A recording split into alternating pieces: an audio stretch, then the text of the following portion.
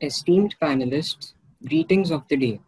I, Devraj Singh, will be presenting on behalf of Group 21. Zelena Mesto, a green and sustainable city designed and planned by Group 21. This is our team that worked in tandem to make this project possible.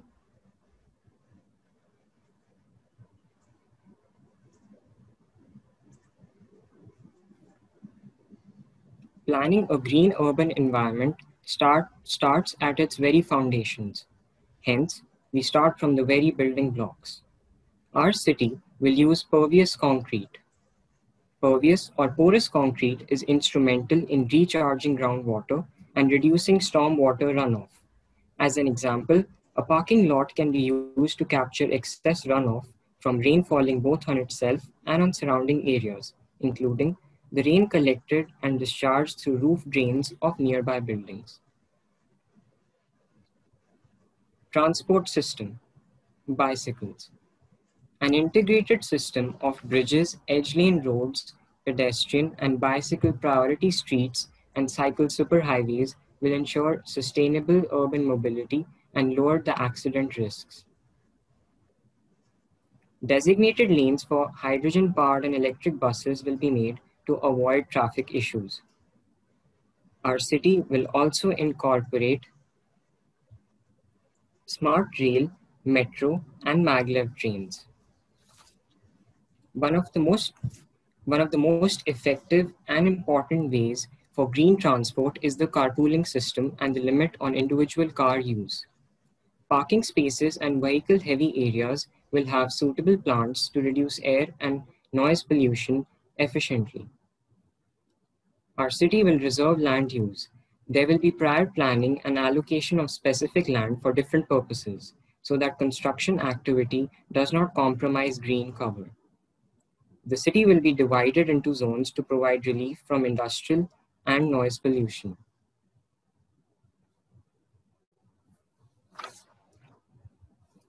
Our city will have green spaces and street greenery, along with parks and biodiversity-rich zones. Biodiversity sensitive urban design promotes human nature interactions and nature stewardship among, among city residents. It will add value to the range of benefits urban greening provides and helps to deliver greener, cleaner, and cooler cities in which residents live longer and are less stressed and more productive. Every house in our green city will have green roofs and green walls. This is another way to increase green cover. Green roofs and green walls will help in providing heat in winter and will provide a cooling effect in summer. They are ideal for sound insulation, mitigate the effects of the so-called heat islands, contribute to reducing smog, pollutants, and dust in urban areas, save money in terms of energy spent by cooling and heating devices, and save storm water runoff. Biodiversity protection.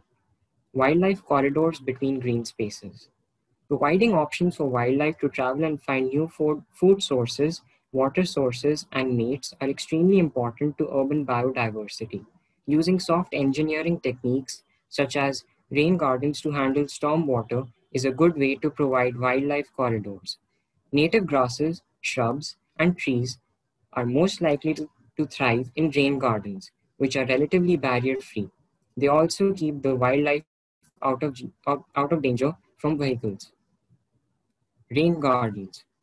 Rain gardens, also called bioretention facilities, are one of a variety of practices designed to treat polluted storm water runoff. Separation of factory areas by green belts. These green belts will create a distinct separation between heavy industrial and residential, as well as office areas, protecting the residents from air, noise, and heat pollution. It will also prevent cities from becoming heat islands and significantly reduce the net emissions of greenhouse gases. Our city will make use of both renewable and non-renewable energy sources. Optimal usage shall be the ideal mode for energy conservation. There are several hurdles that play havoc in energy conservation, like lack of awareness, lack of technical knowledge, and capital shortages. Three rules to reduce the ecological footprint in our city would be the use of solar power, recycling economy, and cooperation between city and region. We have taken inspiration from the following economies for our city. Sweden, from waste to energy. Sweden has 34 waste to energy power plants in the country. The recycling rate is so satisfactory that the country needs to import garbage from other countries to keep these power plants at full capacity throughout the year. Japan, optimizing segregation. Thoroughness is the key to the success of Japan's recycling system. Neighborhoods are responsible for sorting, treating, and segregating their household waste and then complying with a strict and scheduled collecting calendar. This image shows the waste segregation being practiced in Japan. Switzerland, waste reduction. The Alpine country has succeeded in waste reduction by adopting measures such as the single bag. To get rid of non-recyclable waste, you must buy official garbage bags with a higher price, while recycling is free. South Korea, the problem of food. South Korea has set out to tackle its food waste problem with an ambitious plan that combines deterrent measures with a sizable investment in technology. Just as in Switzerland, bags for recycling organic waste have a special price that is used to fund the recycling process. They are biodegradable. The bags are deposited in automated bins that weigh food waste. To use the bins, residents are required to identify themselves using an ID card. The bins then charge the residents based on the amount of weight they deposit.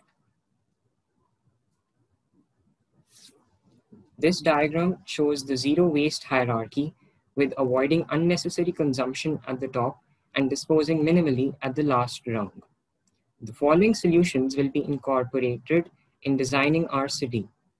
Use of traditional housing material, incorporating public transit, bicycle lanes and sharing, hybrid cars, green space, solar panels, waste management, and water conservation. Sustainable resource management. Availability of water has become a major problem. This image shows water and its central position in relation to processes such as biodiversity, energy, and climate. Some solutions to the above mentioned problem are an economic evaluation of water resources, services, and of aquatic ecosystems, proper governance of water, and promoting the management of water at the watershed level. The buildings in our ideal green urban environment will be LEED certified, that is, Leadership in Energy and Environmental Design certified. LEED certified buildings help in promoting green cover and in the conservation of resources by increasing water efficiency and saving on power consumption. An indicator of environmental sustainability in our city will be the ecological footprint. This image shows the ecological footprint with forest products, carbon footprint, cropland, pasture, the built up land, and the fisheries.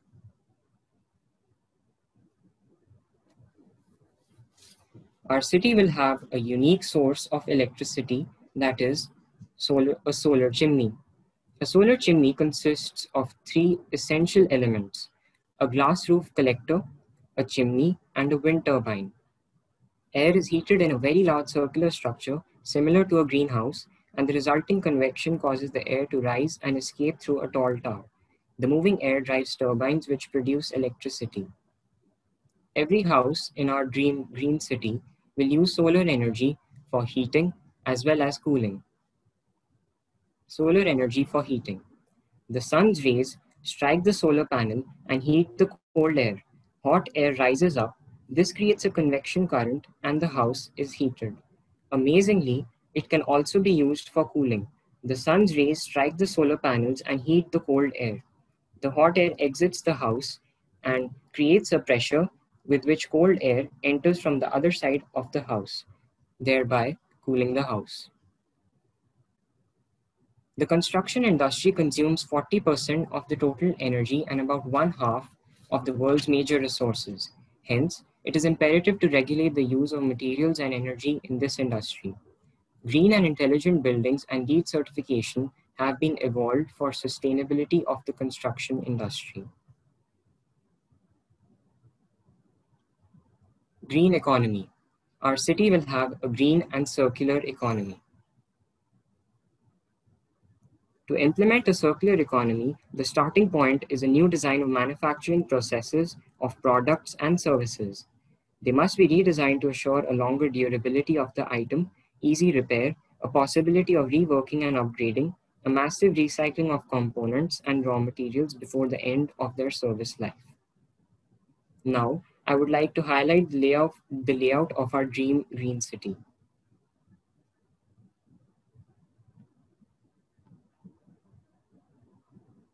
Our city will use solar panels for electricity, green roads, there will be windmills, a park next to each building, green bays above each road. Buildings will be surrounded with ample greenery. As an example, we can see a green building and there will be a centralized park.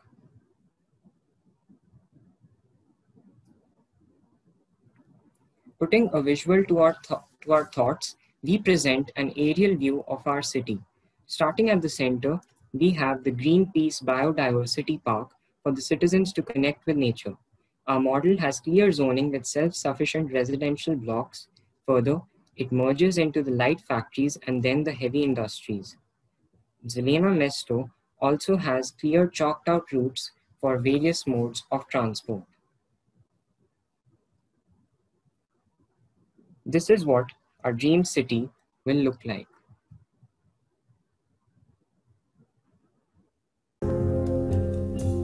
Hello and welcome to this green city. As you can see, there is at least one park next to each building.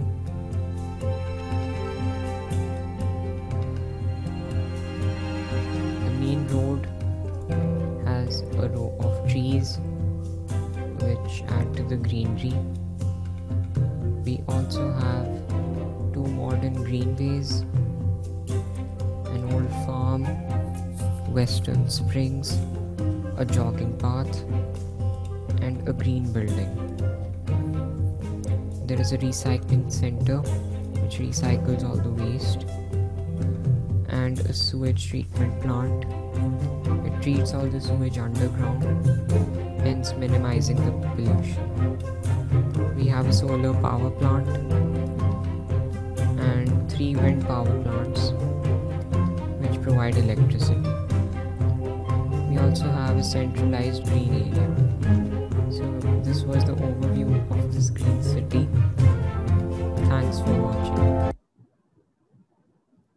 This was the overview of our city. We have planned our city in such a way that future innovations in sustainable urban development can be incorporated. Thank you.